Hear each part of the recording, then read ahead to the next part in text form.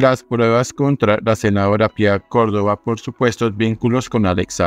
El señalado testaferro del régimen venezolano tiene que enfrentarse a la justicia colombiana en febrero de 2024. El auto de la magistrada Cristina Lombana, integrante de la Sala de Instrucción de la Corte Suprema, da cuenta de que esta investigación se centra entre los años 2007 y 2010, cuando Pia Córdoba y Andrés Vázquez, asesor de su unidad de trabajo legislativo en el Congreso, habrían aprovechado viajes y estadías en Venezuela para supuestamente recuperar dinero que la Comisión Nacional de Administración de Divisas le debía a empresarios colombianos. Según el alto tribunal, la ahora senadora del pacto histórico habría recibido pagos en esa época de empresarios a cambio de recuperar esos dineros y ayudar a que el entonces presidente Hugo Chávez no los expropiara.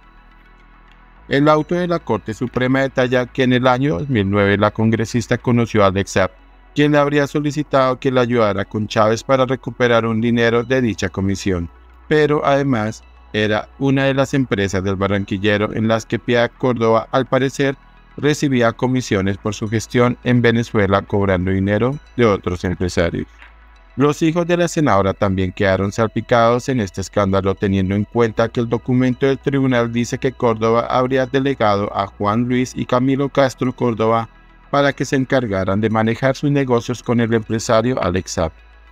En el auto se menciona al empresario Carlo Valilla Bastinini, quien entre los años 2009 y 2010 habría financiado eventos, pago gastos publicitarios, tiquetes aéreos y vuelos charter supuestamente para la congresista, su familia y terceros.